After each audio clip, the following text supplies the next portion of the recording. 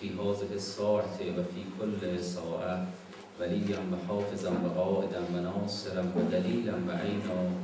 حتى تسكنه أرضك طوعا وتمتعه فيها طويلا. انشالله از یاران و یاوران و بلکه سرداران حضرت باشیم سلواتی سرداری بفرستیم.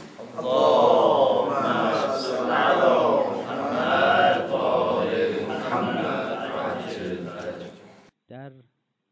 تتمه بحثی که از بحث امامت برای یادآوری خدمت دوستان عرض خواهیم کرد این است که هرچند در ابتدای بحث هم این تذکر رو دو سه بار ذکر کردیم اما ممکنه که تو ضمن بحث این تذکر یه موقع گم شده باشه و فراموش شده باشه. لذا بحث این که امامت که الان ما باهاش برخورد می‌کنیم و نگاه می‌کنیم یه بحث امامت به معنای وسایت یه بحث امامت به معنای اون هدایت ایصال المطلوبه توجه به این که اون هدا امامت به معنای وسایت سر جای خودش محفوظه و جزء عظیمترین دستاوردهایی است که خدای تعالی از هدایایی است که خدای تعالی برای بشریت قرار داده که اون نبوتی رو که پیغمبر اکرم مبعوث شدن و اون دینی رو که مبعوث شدن و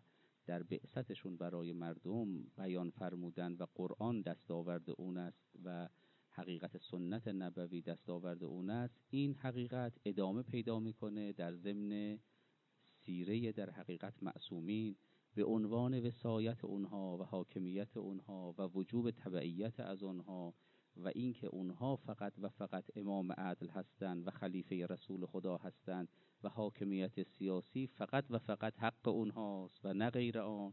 این یه بحث حتمی دقیق و مسلمی است که هیچ جای شک و شبهه درش نیست. لذا بحث وسایت رو که بحث حاکمیت سیاسی حضرات معصومین علیهم السلام است که یه شعنیش و یه ظهورش میشه بحث ولایت فقی در امروز یکی از ظهوراتش این است که این ظهور هم خیلی عظیم است و الان برکاتش آشکاره و خود اون حقیقت با اون دستاوردهایی که داره البته جایگاهش هرچند بشریت در طول تاریخ خودش رو محروم کرد از این دستاورد که استفاده بلافصل از جانشینی و وجوب اطاعت اونها در حاکمیت سیاسی داشته باشه و خودش رو محروم کرد و این محرومیت برای بشریت باقی مونده تا امروز و محقق نشده به طوری که این حاکمیت محقق بشه و اگر در دوران امیر مؤمنان علیه السلام هم در حدود پنج سال اگر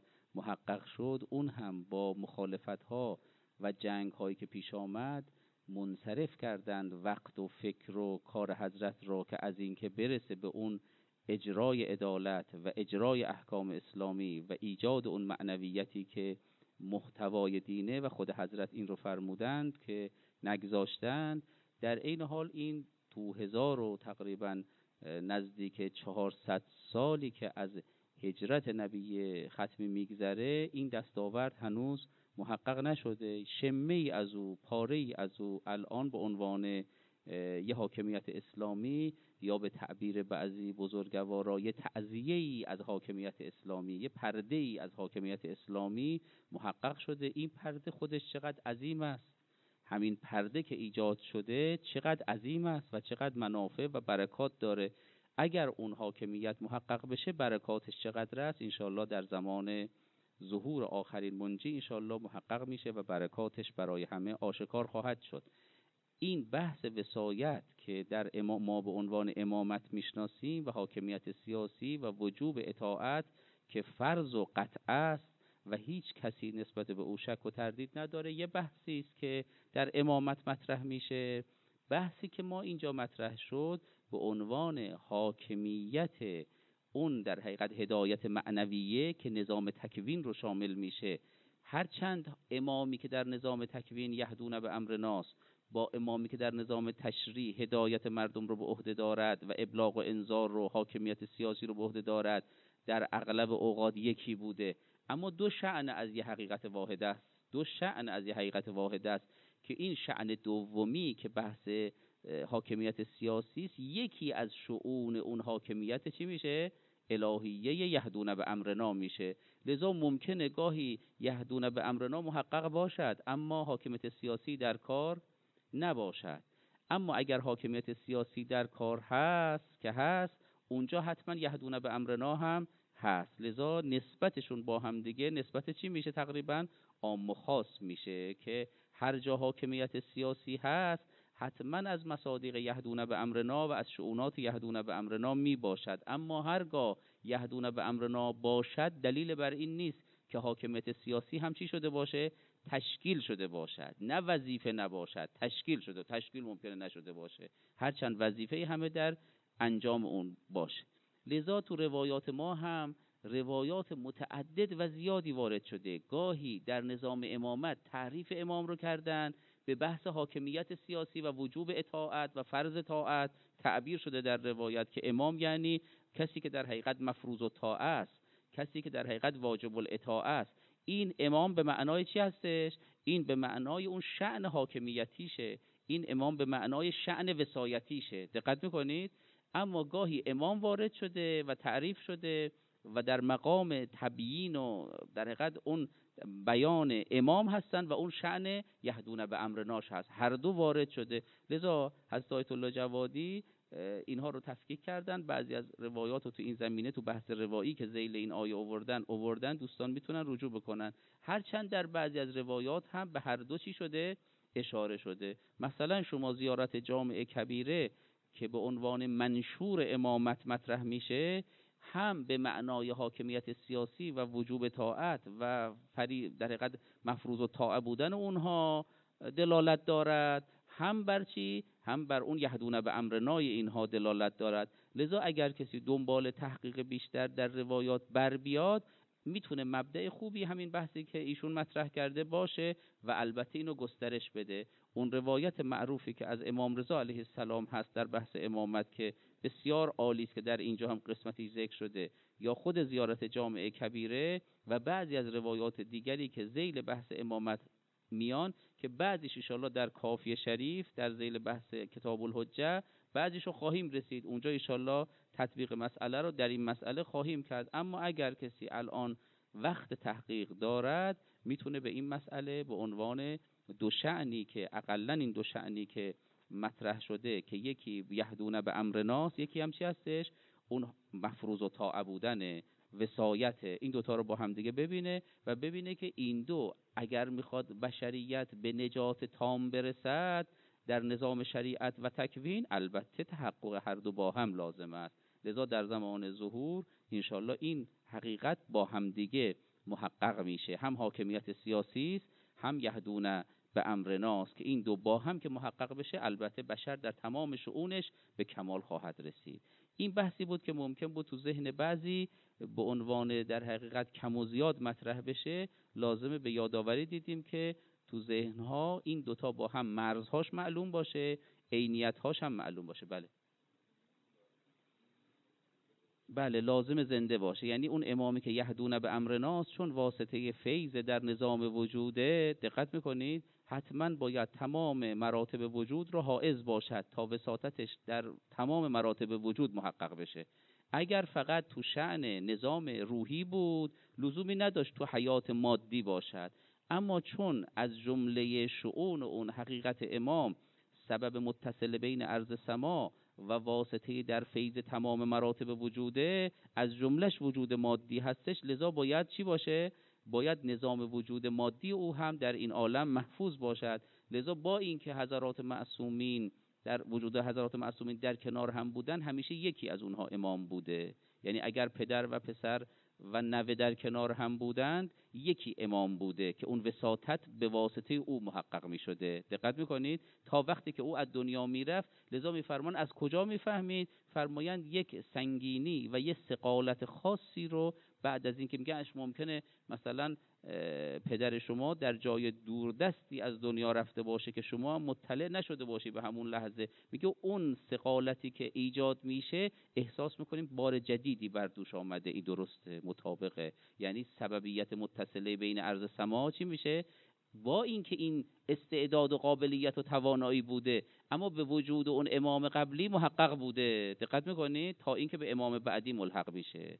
هرچند خود اینها هم در اون حالت واسطه فیض هستند اما واسطه اطلاقی فقط یک نفره. واسطه اطلاقی فقط یک نفره. و الا هر کسی در هر مقداری که چیزی رو به کمالش میرسونه در همون مقدار چی هستش؟ وساطت در فیض داره. دقت می‌کنید؟ همون مقدار وساطت در فیضه اما بحث در وساطت اطلاقیه است که در وساطت اطلاقیه اونجا در حقیقت یک نفره در وساطت اطلاقیه. بله.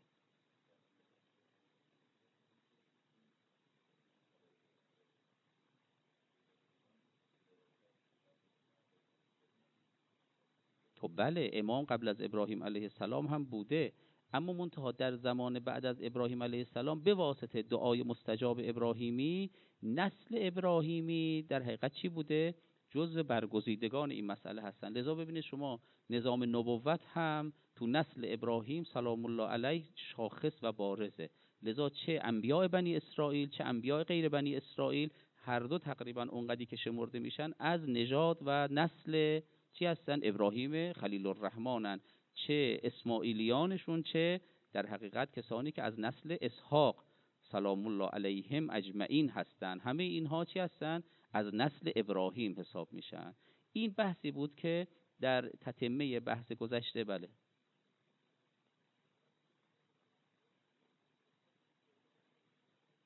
نه اینها چون تو نظام روحی کلهم نورون واحد هستند دقت می‌کنید مانع نداره یعنی توسل و تذکر. اما وساطت در اینکه تمام مراتب وجود رو اینها یه شخص به عهده دارد اما اینکه الان ما وساطت بکنیم اینها رو متوسل بشیم به اینها که در درگاه الهی شفیع ما باشن. چون این وجودات باقی این وجودات از بین رفته نیستند. درسته؟ حاضر شما قائب شما مثل حاضر شماست. ما شهادت میدیم که قائب شما مثل حاضر شماست. اونی که در حقیقت از شما از دنیا رفته با اونی که اون وساطت بدن مادیش الان در کار نیست. لذا تمام این مقائلیم که نفس و روح باقیه دیگه. لذا نفس توفی میشه. تر حاجات در اون مسائل هیچ مانع نداره که همه حضرات معصومین بلکه انبیاء گرامی رو در این مسئله یا اولیاء خدا را هر کدام رو وساطت قرار بدیم مانع نداره هیچ مشکلی نداره.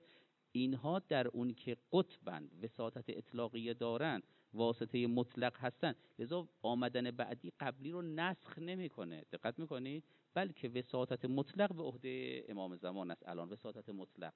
اما اینا کلهم نورون واحد هستند درسته؟ که این کلهم نورون واحد توسل به هر کدوم از اونها توسل به دیگری هم هست. اما برای نظام وجود یک نفر می‌خواد که حی و حاضر باشد که به نظام وجود قائم به او باشد. نظام وجود به خاطر اینکه به اصرها عالم ماده هم دارد. از جملش عالم لذا حضور مادی اینها هم. در خلاصه که بعضی تعبیر می‌کنن تعبیر البته تفسیر بعضی احتمال میدن که در اون زیارت جامع کبیره که ارواحکم فی الارواح اجسامکم فی الاجساد نفوسکم فی النفوس اجسادکم فی قبورکم فی القبور شاید در حقیقت تمثیل به مراتبی باشد که حضور اونها رو میرسونه. بعضی این تفسیرم کردن. خب این بحثی بود که گذشت و ممکن بود که بالاخره توجه بهش بی اثر نباشه. اگر کسی تو مقام تفصیل به این وارد چه برکات بسیاری داره؟ مبدع ورودش رو هم می‌تونه همین کتاب شریف تصنیم حضرت آیت الله جوادی در بحث روایی که زیل این بحث آورده انشالله قرار بدن تا استفاده بیشتری بکنن. بله.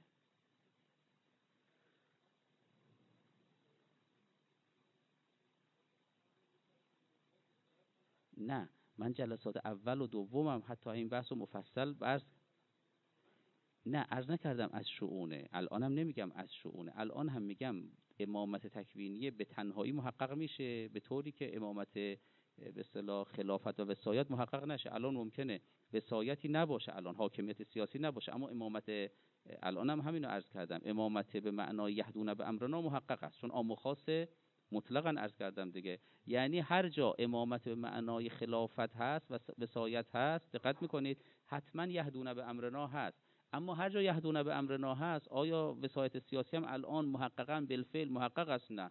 ممکن حاکمیت سیاسی الان نداشته باشن هرچند امام مفروض و طاعه باشد اما بستیت پیدا نکرده.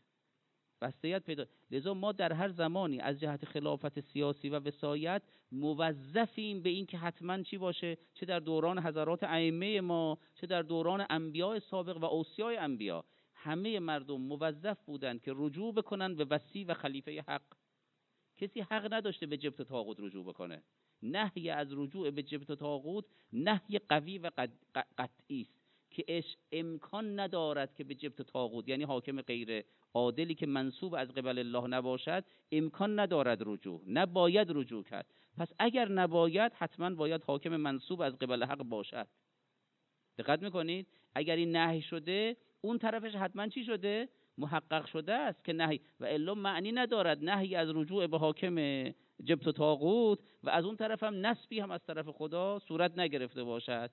مردم چه بکنن؟ بالاخره لابد من امیر من برن او فاجر امیر مؤمنان میفرماید. حتما باید امیر در کار باشد و الا اختلال در حتی میگن نظم فاسد به از بی نظمی است. درسته؟ در بعضی از مثلا روایات هم حتی به این تضمین مثلا اشاره مثل همین. لابد للناس من امیر برن او فاجر.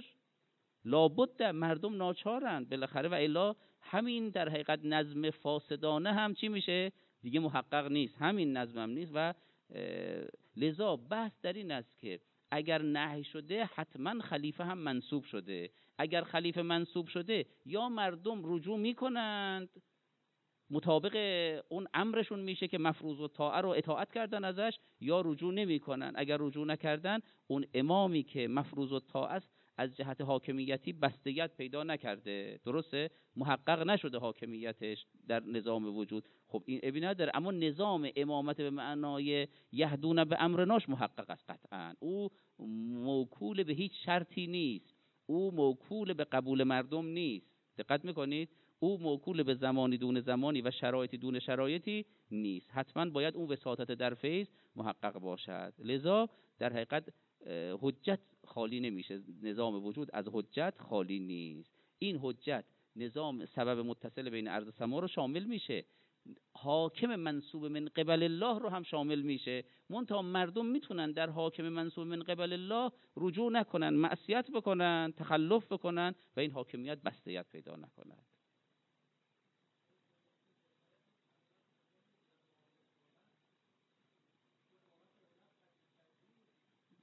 یعنی؟ بله.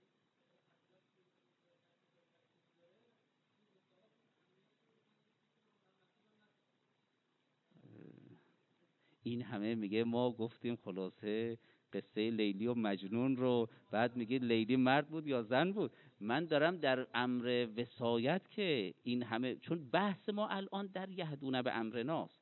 بحث در وسایت نیست. اگر در بحث در وسایت بود ما در بحث وسایت کم میذاشتیم. می‌گفتیم که اینجا وسایت چی شده؟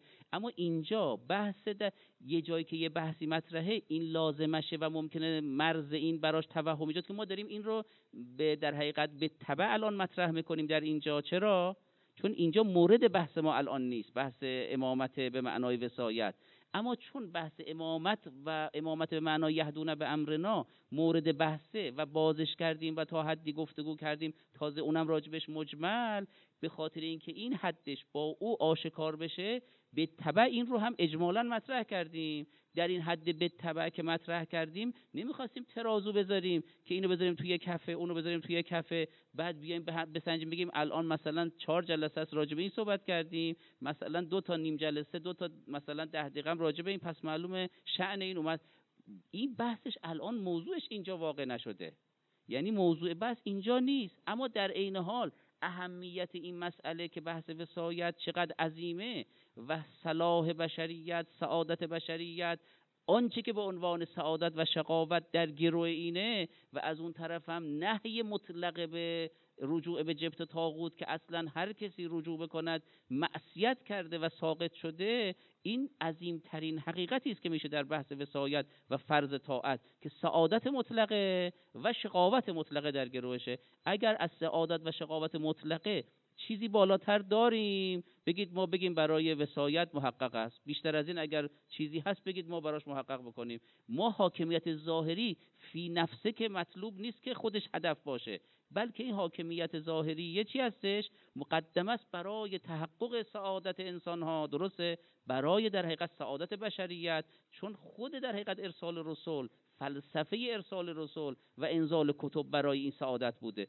عرض می‌کنیم که امامت به معنای وسایت متحقق می‌کند و تنها وسیله است که تحقق می‌دهد این سعادت مطلقه و شقاوت مطلقه رو که به واسطه تبعیت میشه سعادت و به واسطه به از او رو گرداندن میشه در حقیقت شقاوت. و همه اونچه که در عالم بشریت فرعون ها و نمرود ها و از اون طرف موسی ها و عیسی ها در حقیقت و در حقیقت محمدین صلوات الله و سلام علیهم بروز کردن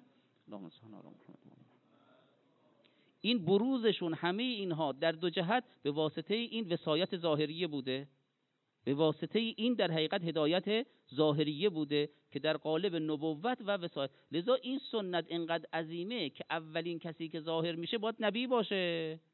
آخری نبی به معنای همین شعن در حقیقت وسایت همین شعن نبوت که نبوت و وسایت یه حقیقتن. از جهت اینکه اون نبی این وسیع اوست. این اولین کسی که به دنیا میاد و در عالم انسانی ظاهر میشه باید نبی باشد. آخرین شخصی هم که از این عالم میره باید نبی یا وسیع نبی باشد. چون نبوت بابش مختوم است وسیع نبی میشه. لذا اینقدر این شعنیت شعنیت تامه است که اگر میگه به جبت و تاغوت رجوع نکنید یعنی به حاکم عدل. اگر میگه به حاکم عدل پس باید حاکم عدل از ابتدای عالم وجود حاکم عدل منصوب من قبل الله باشد تا در حقیقت آخرین فرد حاکم عدل. لذا میفرماد اگر دو نفر در روی زمین باشن یکیشون باید امام باشه. امامی که حجته یعنی همین وسایت اگر می‌خواد دو نفر در روی زمین باشن الا و لابد که باید یکیشون چی باشه؟ حجت باشد که رجوع به او امکان پذیر باشد.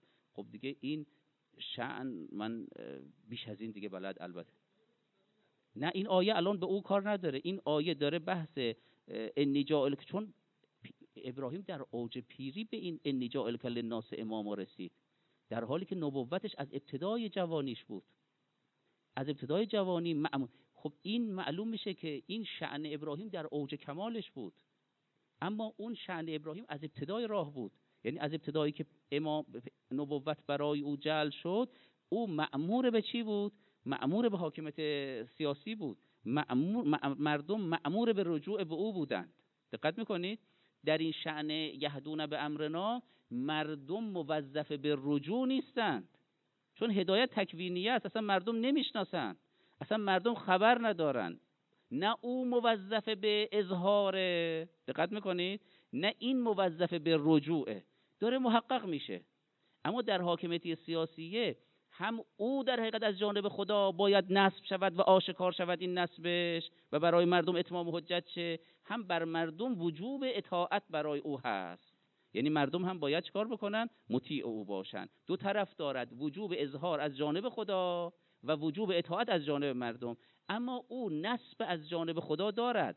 اما وجوب اظهار ندارد از جانب خدا. ممکنه امام در حقیقت چی باشه؟ امام به معنا یهدون به امرنا برای کسی هم آشکار نباشه چون شعنش در آشکار شدن نیست. مگر اینکه اون امام همین امام باشد. مگر اینکه اون امام یهدون به امرنا چی باشه؟ همین امامی باشد که می‌خواد حاکمیت سیاسی و وسایت رو هم داشته باشه. از این شعنش لزوم اظهار پیدا می‌کنه. و اگر حضرات ما حضرات معصومین این همه بر اظهارشون اصرار شده این همه بر ابرازشون اظهار شده اصرار شده و روایات متعدد اومده و جهات متعددی بر این مسئله برهان ها و دلایل متعددی اقامه شده همه اینها بر اون شأن حاکمیت سیاسیشونه.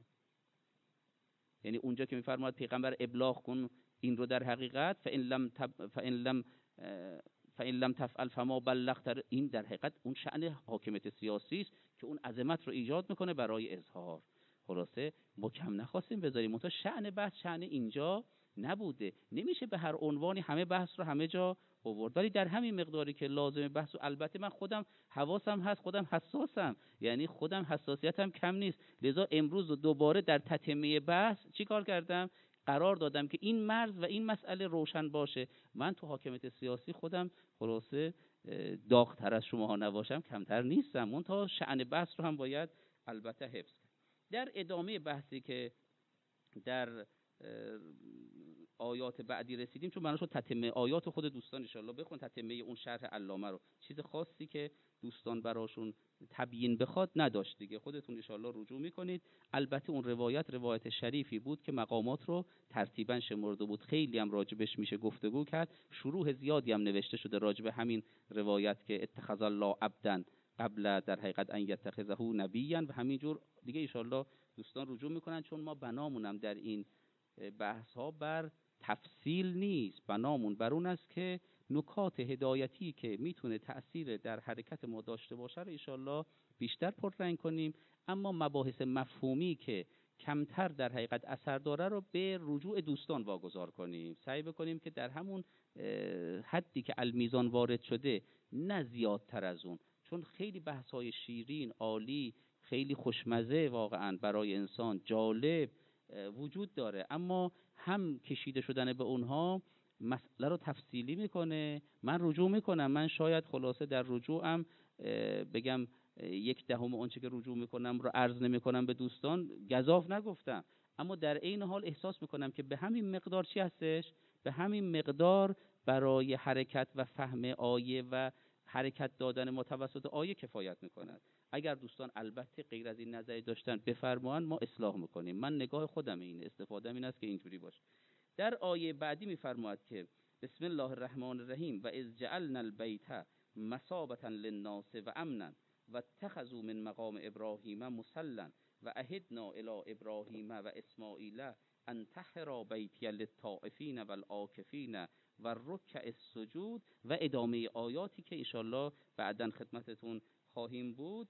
این آیات شریفه که در خدمتشون هستیم از جمله از آیه قبل که شروع شد در بحث ابراهیم بود و در بحث ابراهیم سلام الله علیه که آیات قبلی در شعن بنی اسرائیل بود که حدود شاید هشتاد آیه شد از اینجا تعدادی از آیات که حالا من احسان نکردم چند آیه است بیست و چند تا آیه گمونم هستش. در رابطه با جریان ابراهیم سلام الله علیه و مثلا مسائلی که مربوط به ایشون است از اینجا وارد میشه. و بعدم جریان قبله و اینها که مرتبط میشه با این بحث که الان شروع کرده بیت رو و کعبه رو و جریانات مربوط به او رو یکی یکی انشالله در پی اینها خواهد آمد و مباحث بسیار عالی و کاربردی هم ضمنش است. در این آیه میفرماید که و از جعلنا از که در حقیقت همون جوری که و از رو قبلا هم عرض کردیم که و از ابتلا زیل و از ابتلا بیاناتی رو در عطف عرض کردیم که ممکنه به کجا عطف باشه که به اذکرو باشه به چی به کدوم اذکرو باشه یا اذکر در تقدیر باشه هر کدوم از اینها که باشه در اینجا هم همونها امکان پذیره. لذا اگر اذکرو رو در تقدیر بگیریم یا اگر مفرد بگیریم وذکر از جعلنا البیت مسابتا للناس. وقتی که قرار دادیم بیت رو جعلنا البیت البیت. البیت در حقیقت بیت وقتی یه مجموعه ای رو که کنار هم قرار می‌گیرند که اون مجموعه حقیقت واحدی ایجاد میشه ازش به او بیت میگن. لذا حتی به شعر که یه مجموعه ای در حقیقت کنار هم یه خط قرار می‌گیره با یک نظم خاصی بهش میگن چی؟ بهش میگن بیت. لذا این بیت در حقیقت از جعلنا البیت که یه مجموعه واحدی است که یه حقیقت واحدی است که کنار هم قرار گرفته.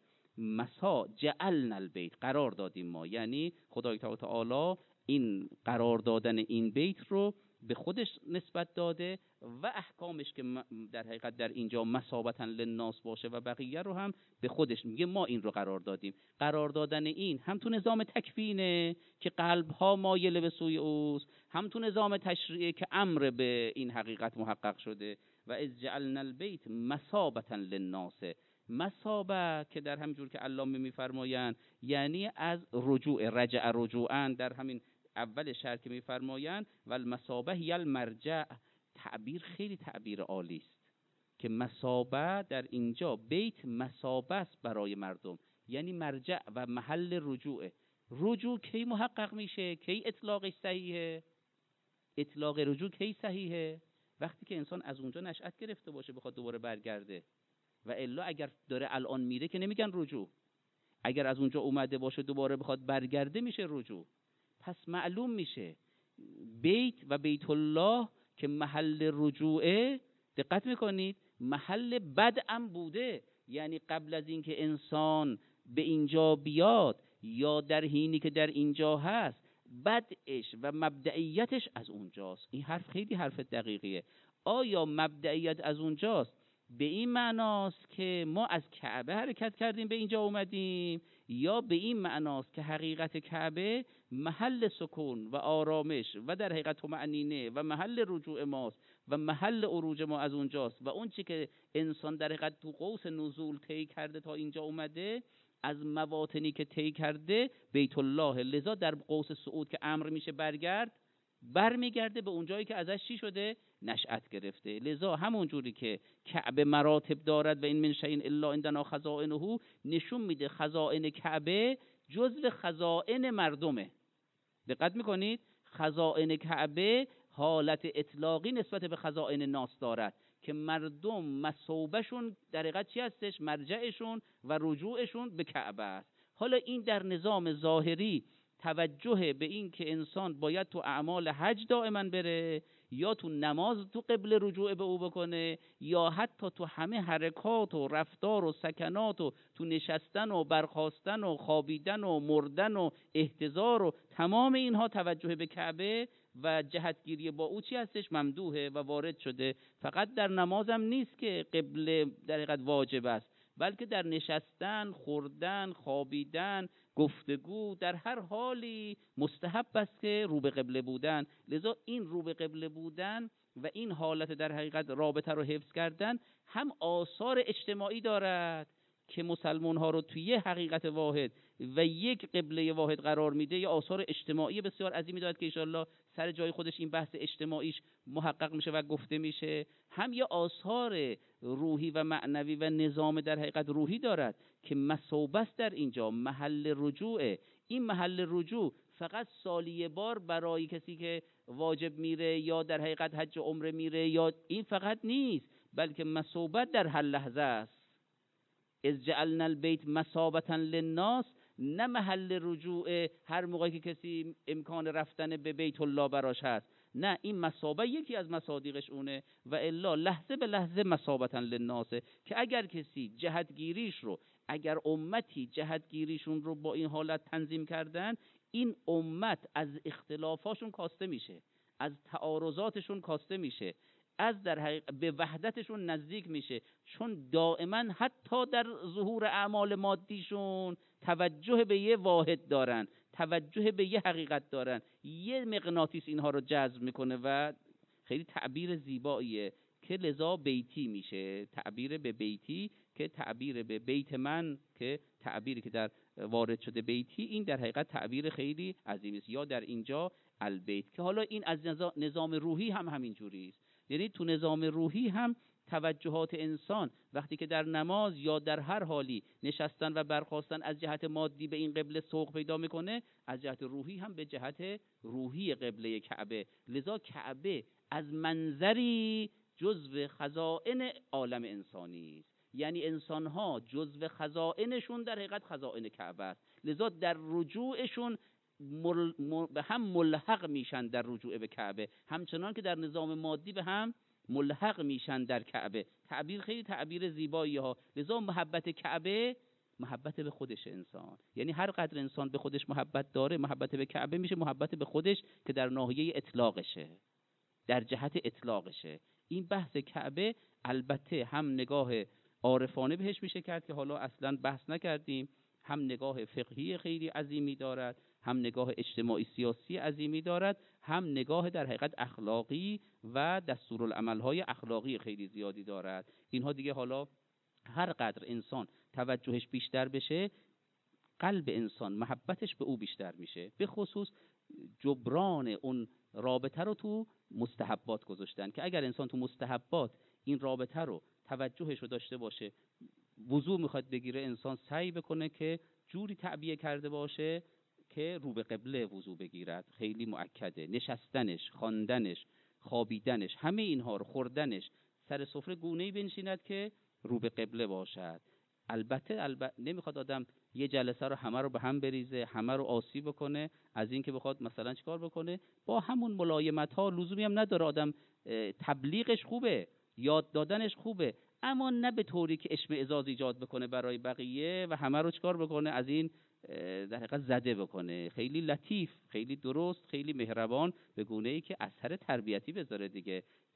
سیخکی نباشه خلاصه. سیخکیش خرابش می‌کنه. خدای تا لذا در اینجا این بحث رو ایشالا داشته باشید که مسابتا للناس حرف خیلی سنگینیه. محل رجوع. رجوع کلمه رجوع خیلی سنگینه خیلی کار می‌رسه. هر چی راجع به این تو احکام بگردیم راجع به این تو نسبت اخلاق بگردیم تو اعتقادات بگردیم حرف توش در میاد. تو تمام مراحل. از جعلنا البیت مسابتا للناسه که للناس هم معلوم میشه که این تعبیر برای مردم و به نفع مردم این مسابه و رجوع. و تخذو من مقام ابراهیم مسلن. میفرماید که در این جعل بله جان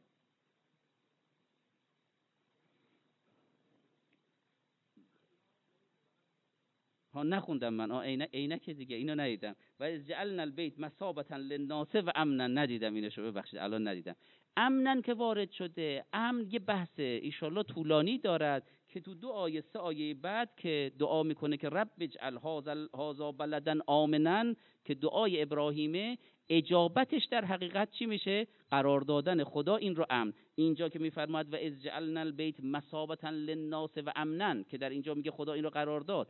و در به آیات دیگری که داره که و هازل البلد الامین یا فرموده و من دخله کان آمنن یا انا جعلنا حرما آمنن که اینها در امن وارد شده این آیات شریفه. این آیات شریفه که هم امن تکوینی و هم امن تشریعی رو بیان می‌کنه. البته حدود امنیت مانع از این نیستش که مثل حجاجی وارد نشه و کعبه رو در حقیقت با خاک یکسان نکنه که حجاج وارد شد در زمان عبدالله ابن زبیر و کعبه رو با خاک یکسان کرد. این که میگه امنن در نظام تکوین و نظام تشریع حالا ایشالله بیان داره که دعای ابراهیم و این حقیقت چجوری محقق شده. ولی اینجا این جواب دعای ابراهیمه در قرآن که هر جا بحث این آمده که ما این رو امن قرار دادیم در جواب تقاضا و ابراهیم سلام الله علیه دعاهاش خیلی عجیب بوده. یعنی دعاهاش فرازمانی بوده همش. اونجا که میفرماد و من ذریتی. یعنی ذریهش رو الی یوم القیامه. اصلا نگاهش نگاه زمانی نبوده. یا در اینجا میفرماد که رب اجعل هذا بلدا آمنا. این بلد رو بلد امن قرار بده. دقت می‌کنی؟ نگاه در دعا خیلی عظیم بوده. کم نظیره. حالا دعاهای حضرت ابراهیم نگاه بکنید.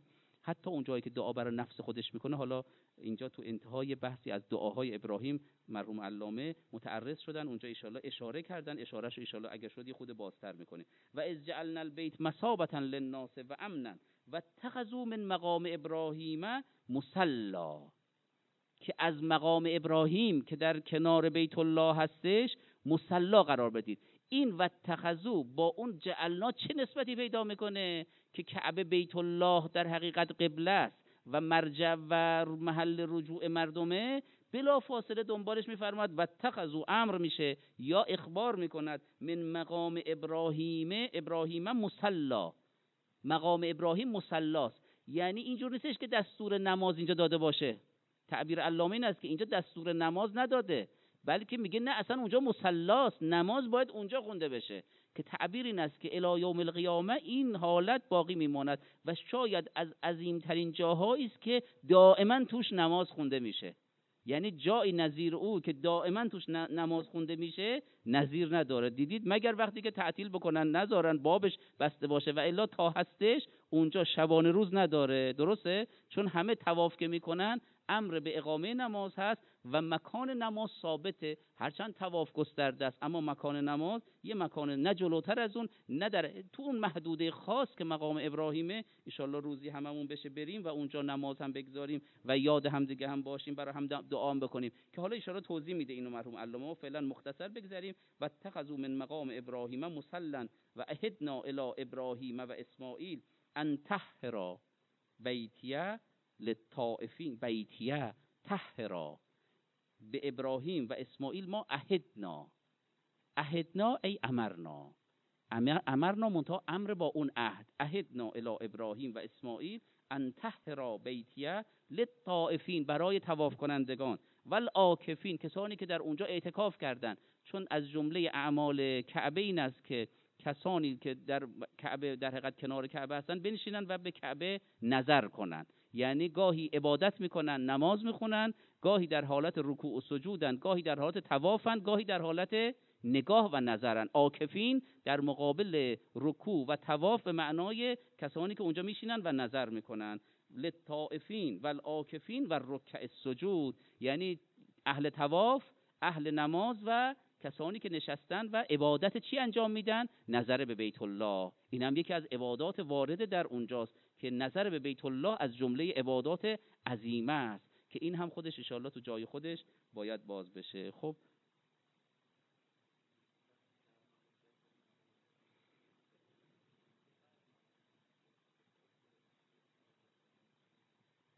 نه این قبل از اونه. بله این قبل از اون. علتش این است که این در حقیقت به اصطلاح بیت رو خدای تعالی اول قرار داد. منتها وقتی که رفع و بنای کعبه و عمران کعبه توسط ابراهیم و اسماعیل شد بعد از اون بود. چون ابراهیم بعد از اینکه جریان ذبح اسماعیل پیش آمد به مقام امامت رسید. دقت می‌کنی و بعد از اون بود که بنای کعبه را عمران کعبه را انجام داد. اما جعل بیت الله به عنوان مسابتا للناس قبل از اون بوده. لذا حالا بعدش میاد که در حقیقت چی هستش؟ چون حالا این مسلا که ابراهیم و تخذو من مقام ابراهیم مقام ابراهیم علتش چی بوده؟ آیا مقام ابراهیم اون جایی بود که ابراهیم وارد شد و بر همسر اسماعیل وقتی که ازدواج کرده بود دو بار ابراهیم تونست بیاد خونه اسماعیل قبل از اون جریان زب دو بار سر بزنه بهش. ساره دو بار اجازه داده بود بهش.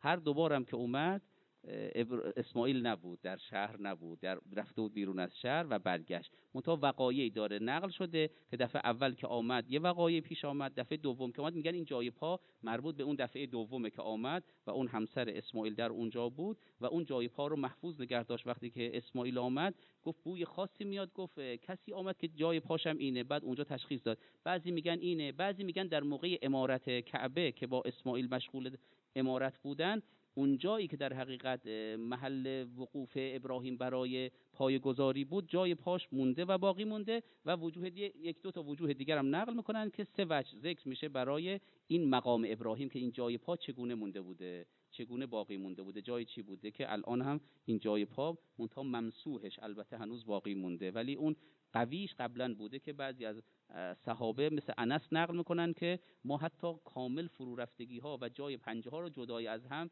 می‌دیدیم. ولی در اثر مسح زیاد و تبلیغ و ترویجی که شد در دین اسلام این مسح زیادش باعث شد که یه خورده از اون آثار قبلیش از بین بره. انشالله بقیه آیه در خدمتش هستیم. بله. بله؟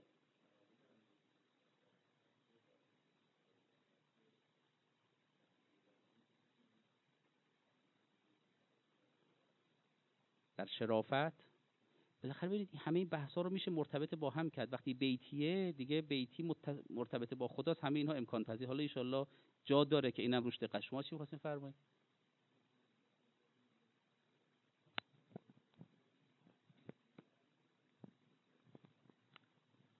خب اسحاق هم از اولو از نبوده اب نداره. اهدنا عرض کردیم امر امرنا دیگه. این در حقیقت چون اسحاق در به اصطلاح مکه نبود. اسحاق در سوریه بود و اسماعیل در مکه بود. دقت می‌کنید؟ همون تبعیدی که کردن خدا هاجر و تبعید نگیم. اون دور شدن که هاجر و اسماعیل رو اونجا گذاشتن. جرهم قبیله جرهم اونجا رو آباد کردن همراه اینها و اینها در حقیقت بیت الله رو در اونجا که از قبل سابقه داشت آبادش کردن. لذا اسحاق در اونجا حاضر نبود. اون عرض کردم اونجا قبلشون مسجد الاقصا بود. در اونجا مسجد الاقصا سلام